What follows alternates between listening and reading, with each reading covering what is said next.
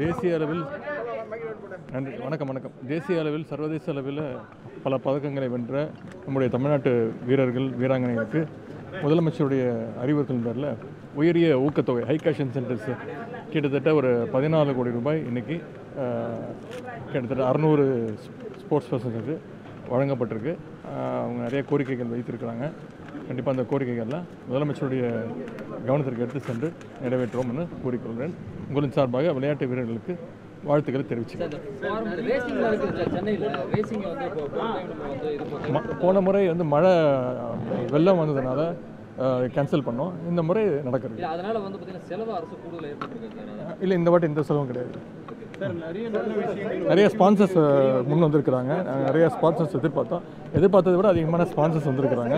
அதனால் இந்த முறை போன முறை இல்லாமல் முறை இல்லாமல் இந்த முறை அஹ், செப்- ஆகஸ்ட் முப்பத்தொன்று செப்டம்பர் ஒன்று ஒன்றாம் தேதிகளில் ரேஸ் நடக்கும்.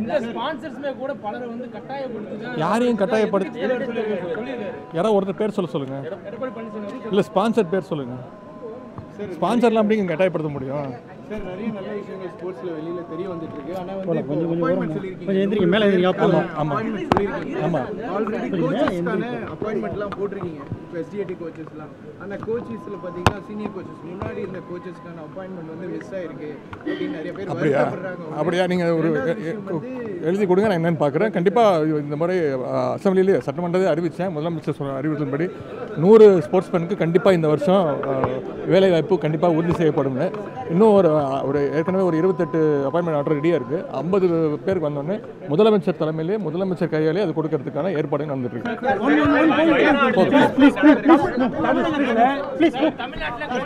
கொலை கொள்ளைகள் அதிகமாக இருக்கு